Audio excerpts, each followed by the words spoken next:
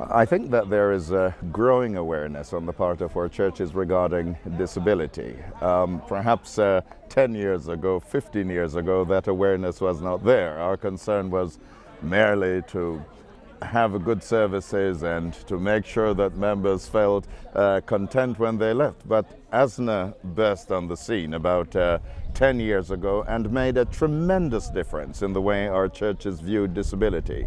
I think ASNA has helped our members recognize, listen, everyone is a child of God. Everyone has to be catered for. And in a sense, everyone has a disability. Even I, sitting here, I'm sure that I have some disabilities. I'm not aware of them, but, but I do.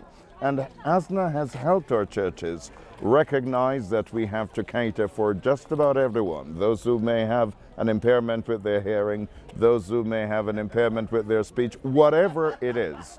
As a church, we have to recognize that all people are children of God and we have to cater for them. So the awareness has been growing in the past few years. And I think if you should go into any Seventh day Adventist church today and speak about disability and the need for us to cater for our disabled people, that there would be some kind of understanding of that and appreciation of that fact.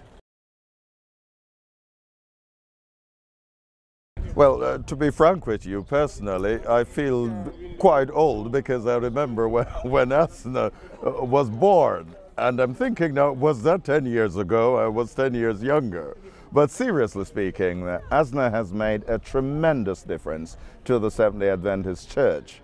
And the measure of that is wherever you go in the United Kingdom and you mention the word ASNA today, I think nearly all our church members would recognize it that this is a privately funded and run organization within our church that is making a vast difference to the way in which we view people. So I would like to commend ASNA on reaching their 10th birthday. Very, very well done, ASNA.